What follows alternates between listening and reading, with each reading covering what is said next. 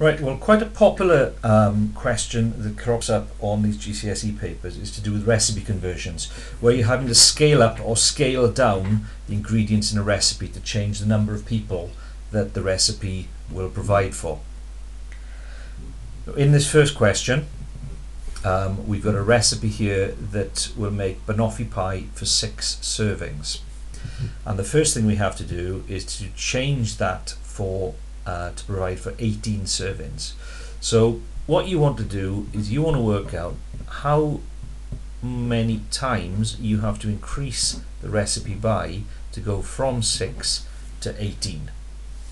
Okay, and the way that you would do that would be to do 18 divided by 6. 18 divided by 6 gives you 3. So 6 times 3 is 18. So everything in this recipe has to be multiplied by 3. Okay, so need 3 times as many bananas.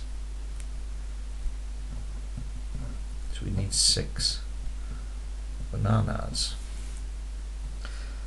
For the second one, we need to scale it up to 21. So we've got to go from a 6 to 21.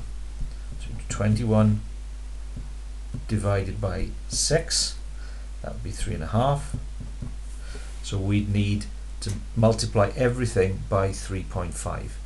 They're interested in plain chocolate, so I've got to do, so I will need 30 times 3.5. 105 grams of plain chocolate. Second question. Same idea again. Here's a recipe for six people. I need to scale it up for nine people. So what have I got to scale it by? What is my multiplying factor? So I'm going to do 9 divided by 6. One and a half.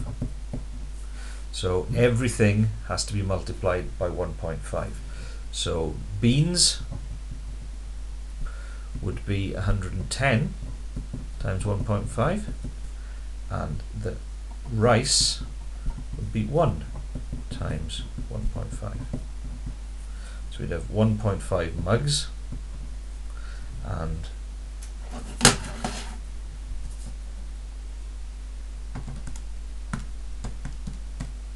165 grams of beans. Third question. This recipe is for 24. We need to scale it for 36. So it's the same starting point for each of these. What have I got to multiply my recipe by in order to go from 24 to 36? So we do 36 divided by 24.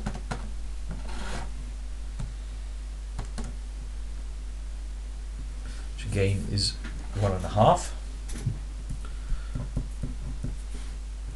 So salt, flour and milk. Salt will be two pinches.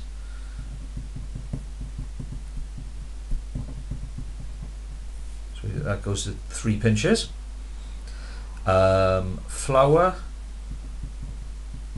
480 times 1.5. So we get 720 grams of flour and milk we're going from 150 mil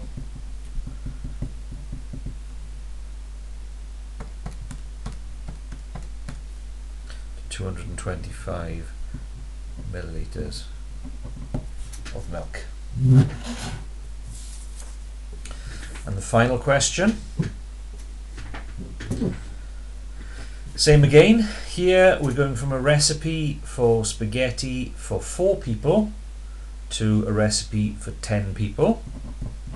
So what have I got to multiply by to go from 4 to 10?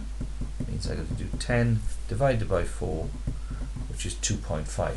So everything I fill in here is going to be 2.5 times what we're given up there. So we've got 400 first of all. So that becomes thousand grams of plain flour. It's going to be 14 times 2.5, which will be 35 ounces of plain flour. 4 eggs times 2.5, 10 eggs. This side for the sauce, 4 tablespoons will be 10 tablespoons. 2 onions will be 2 lots of 2.5, 5 onions. 800 grams will be 800 times 2.5, 2000 grams. 28 ounces will be 28 times 2.5, 70 ounces. And 20 leaves of basil will be 20 lots of 2.5, which is 50 leaves of basil. So every one of those is a two and a half times multiplier of the original ingredients. And then the final part of this is um, a metric imperial equivalent. It says use the information given in the recipe to complete this statement. 100 grams is something ounces. Well, we're given here, and we'll use this one because in case that one is wrong, we've made a mistake. We're given that 400 grams is 14 ounces.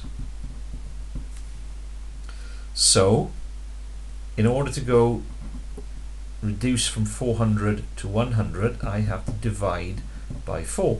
So I have to divide 14 by 4, and when I divide 14 by 4, I get half of it would be 7, half again 3.5 ounces. And that's recipe questions.